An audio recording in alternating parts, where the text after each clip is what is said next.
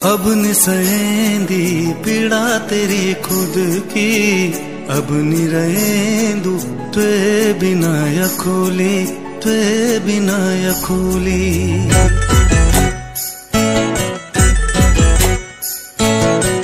ब्योला बनी